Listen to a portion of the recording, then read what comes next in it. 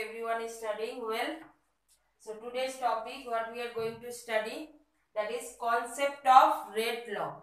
Now in the previous video I have given the what is the introductory part means what is chemical kinetics the concept of chemical kinetics and when the reaction is carried out how what is the meaning of rate of a reaction rate means it is in terms of time or speed means at what rate means at what time how much reaction how much concentration of the reactant disappear and what concentration of product is formed. So that we have discussed that is a rate of reaction. Now the law says according to the law that is, that is called rate law it says that that at a certain time or at a given time whatever the molar concentration it is of reactant it is changing that is directly proportional to the rate of reaction. Okay for example and language you have to follow this only that's why i always write the language from your textbook. The rate of a reaction at given time is proportional to its. Okay directly proportional to its molar concentration molar concentration of the reactant at that time is raised to its power. Okay what is the meaning of raised to its power? Suppose for example if i write a moles of a write a general reaction or for example you can write a general reaction we are writing. Okay a moles of A and B moles of B. It is giving you C moles of C and D moles of D. As law says that it is rate of a reaction directly proportional to the molar concentration of A and B means reactant. This side reactant, this side product. So, this is already told by the law that it is depend on this concentration of reactant. So rate of reaction is directly proportional. Rate of reaction it is directly proportional to the concentration of A means concentration of A and its molar concentration it is raised to the power raised to its power. Here this power means I am writing as x not this a okay why that I will explain. Similarly two reactant is there so similarly B also so B concentration suppose it is Y okay so rate of a reaction it is depend on the concentration of A and concentration of B as there is a two reactant. If it is one reactant, directly proportional to A. And its molar concentration, whatever the molar molar concentration it will be, it will be raised to its power. Okay. So that means if you remove this proportionality constant, then I can write K as a proportionality constant, A to the power X and B to the power Y. Okay. Now here what is k, what is x, what is y that I am explaining. K is called proportionality constant. K is called proportionality constant.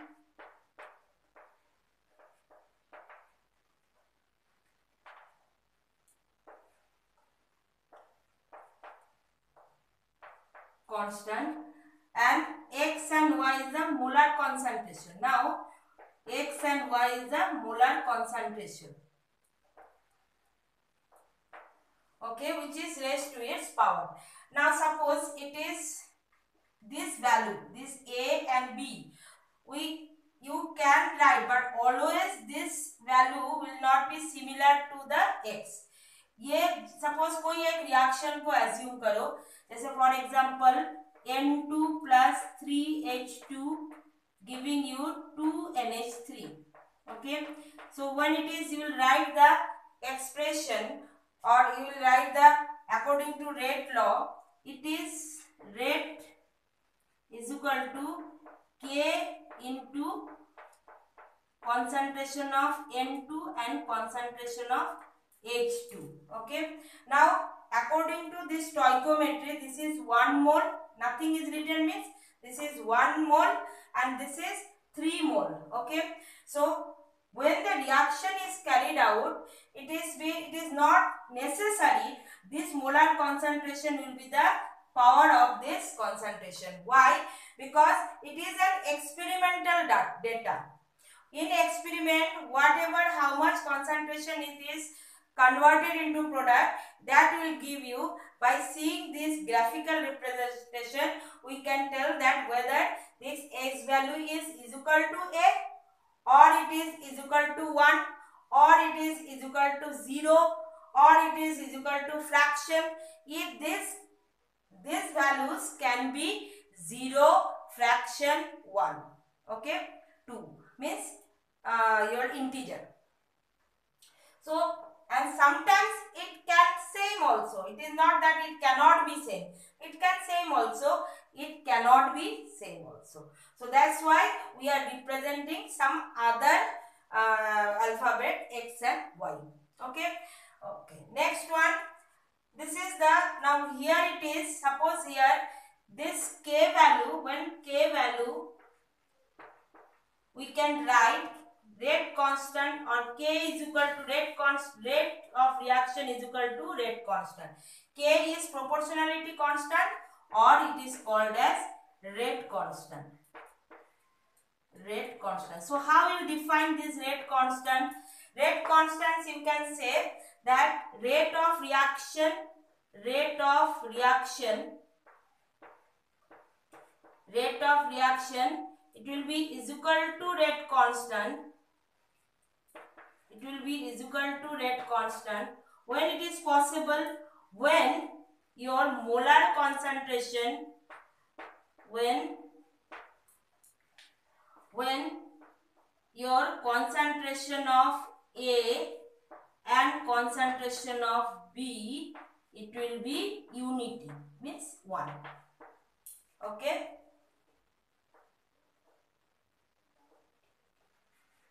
Means this expression this rate of reaction expression when it will be is equal to 1 when this whole value will be 1 and this whole value will be 1 so 1 into 1 so k will be is equal to rate of reaction.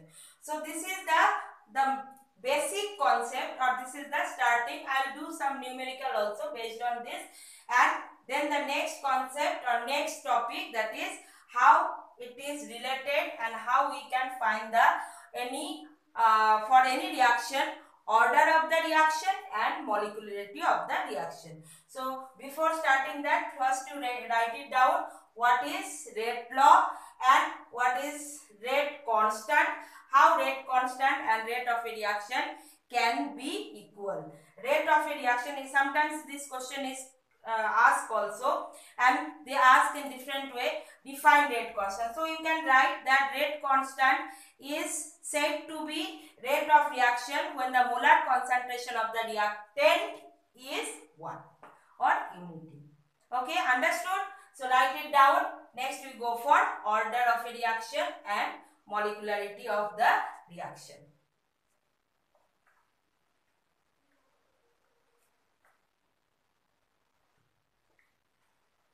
Now we are doing the application of this rate equation or according to rate law what equation we got. So rate is equal to proportionality constant that is rate constant into concentration of the reactant and molar concentration is raised to its power. Okay. Now what way we will do the application? Suppose three cases it is given to you. The values of x is changing, x and y. In first case, if x and y concentration it is 1 means these values are 1. So what will happen? So we can write for this rate is equal to k a to the power 1 into b to the power 1. Okay. So what does it mean? It says that that first only according to law we said that rate of a reaction it is depend on reactant. Okay. Reactant concentration. So if I change this concentration, suppose now here, if I double the concentration, what will happen? If I double the concentration, double the concentration of either A or B. Together we cannot, it is difficult to find out experimental because rate rate equation from this when order we are calculating it is an experimental data so first we will we'll do either you increase this or increase this so which one you will be doing which one will increase किसी को भी आप double करो तो what will happen double the concentration of either ए और B see here if it is double then what it will be? It is the constant. So 2 to the power 2 to the power 1 so what will happen?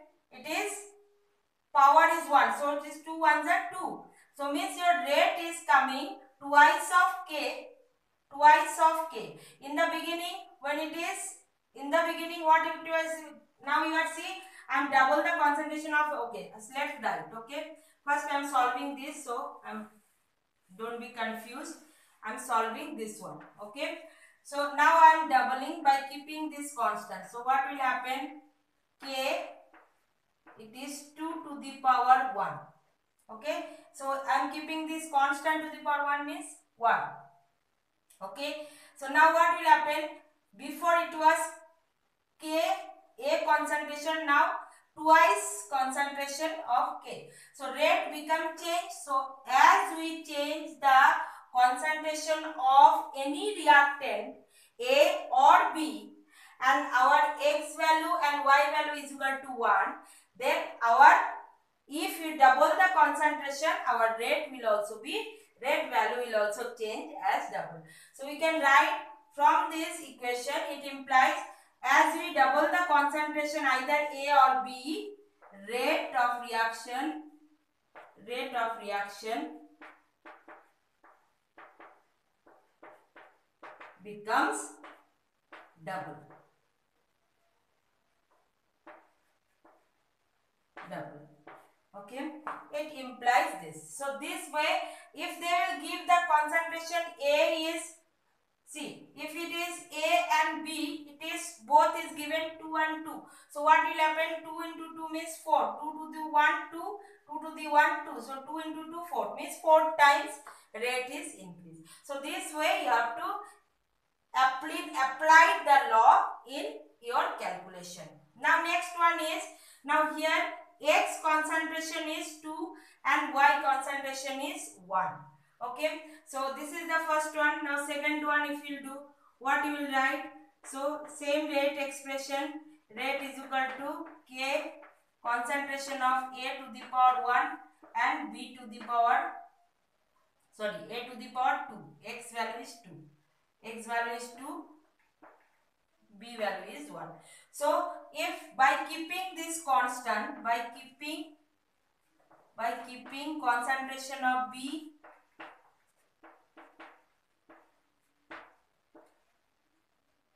concentration of B constant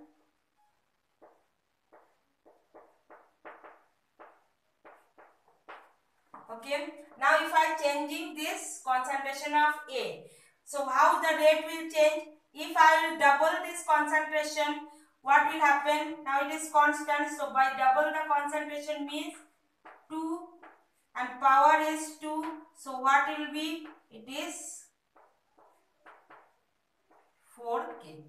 So value is changes 4 times. So how many factor?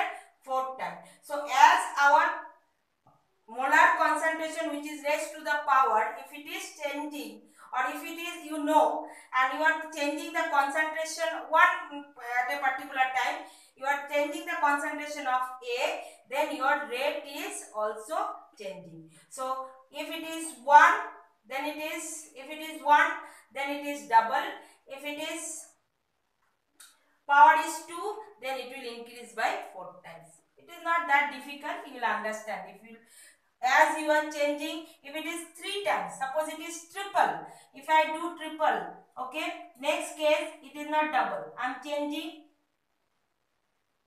to it 3 times so how many times rate will change rate will change 9 times, 9 factor.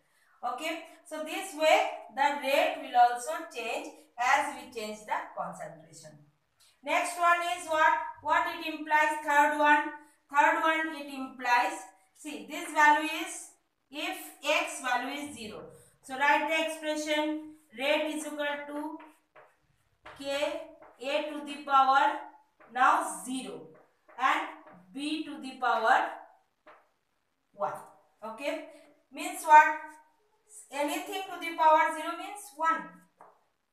Here anything to the power 0 means it will be 1 and when it is keeping as constant means this is this concentration is not affecting.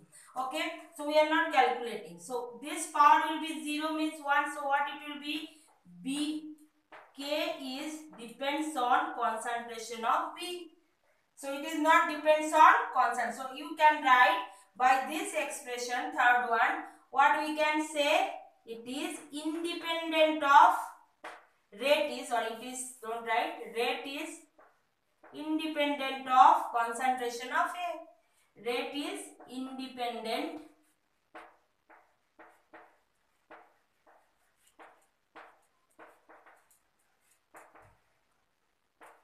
concentration of A. Understood?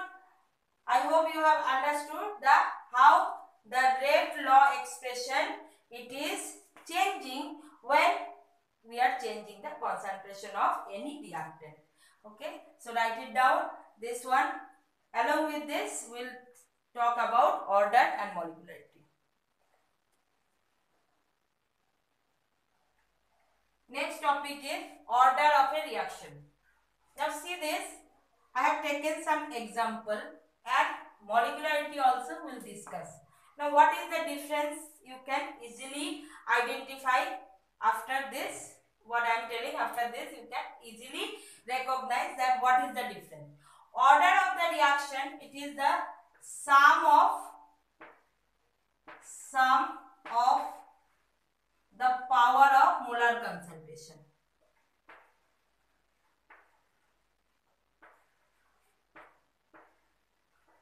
Molar concentration means this okay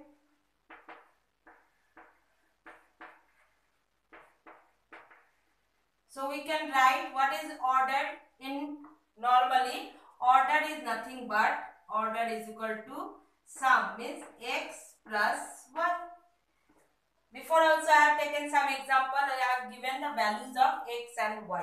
Now you might be thinking from where will these are experimental data. In experiment when we do the experiment kinetics experiment we will get the values of x and y how this concentration is changing by plotting the graph. Okay. So now here few examples. See here what is the what is the reactant two reactant of hydrogen peroxide. When it is after this uh, decomposition what it is or when it is breakdown what it uh, what way it is breaking down? Water and oxygen. But when we are writing the rate expression rate expression is K of concentration of H2O2 here nothing is written means it is 1 nothing is written means it is 1 means as this value is 1 see here how many coefficient uh, stoichiometric coefficient it is 2 but in the during the experiment we have seen that only one con concentration of uh, hydrogen peroxide which is changing that is 1 mole so the power is become what is the power that will give you the order. So what is order? Order for this reaction become 1. Okay. Now here, here it is next reaction is H2 and o, I2 giving you 2HI. So rate expression we got. This will be given to you for exam also. When they are asking calculate the order of reaction without rate expression, we cannot find it out that what to do because writing the paper we are not doing any experiment okay during the exam we are not doing any experiment so this this expression in the question paper it will be mentioned only have to remember what is order of any reaction it is the summation of its power that is x plus 1 of power of reactant. Now what is rate expression? Rate expression is given K that is rate constant into I con uh, hydrogen concentration and I con I2 concentration, iodine concentration. Here mole coefficient is nothing is written means 1. It is 1. Here also it is 1 and 1. That's why in the beginning I said sometimes the value of A and B it is same like X and Y but it is not always same. Here in this case it is not same. So now I hope you understand what I said in the beginning. So here 1 mole, 1 mole in the expression also we see that X value that is power it is 1 and 1. So what will be the order of the reaction? Summation. So X plus Y you have to do. So 1 plus 1 that is equal to 2 okay so it is second order reaction now here it is as i told that always it is not integer it can be zero also it can be fraction also. So from this rate expression we can say that order of this reaction it is order of this reaction is 3 by 2 so i hope you understand what is order. Molecularity is easy. Molecularity the number of moles which are taking part in the reaction. So you can, it is not experimental data, it is a theoretical data. By seeing the reaction, for example, molecularity is number of number of molecules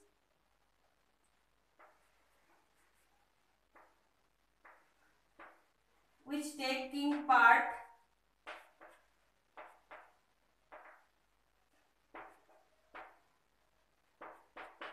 in the reaction.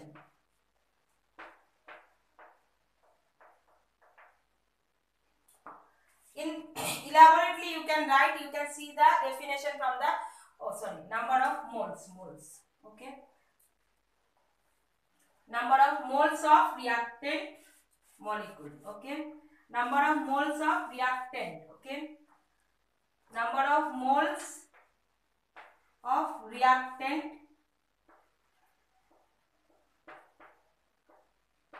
which actually taking part in the reaction which is taking part in the and it is a theoretical it is a theoretical.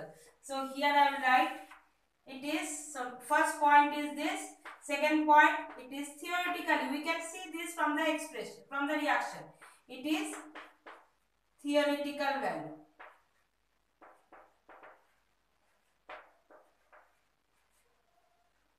Okay? So for this expression we can say now can you say what will happen the molecularity of this reaction? Yes.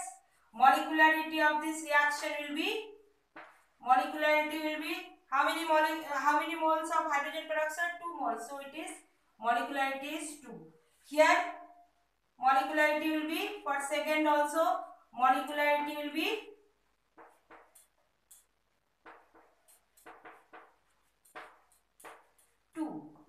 Here, how many moles? One mole. So it is molecule is also for third one.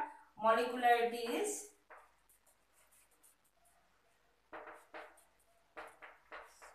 one. Okay. So when this kind of question it is asked or it will uh, be given in the exam. Okay. They will give the rate expression as well as the reaction. Rate expression it will give the order and by seeing the reaction you can easily calculate the molecularity of that reaction. So today's topic or today's in this video I have discussed the what is the concept of rate law, how we will write the rate law, means express what way you will express the rate law and what are the application of rate law, then order, what is the difference of order of the reaction and molecularity of the reaction. Remember, there is a difference of order of the reaction and molecularity. What is the main difference? It is experimentally calculated, it is theoretically calculated. Okay. So, for today this much only. If you like the video, please subscribe and share with your friends. Like and comment. Thank you.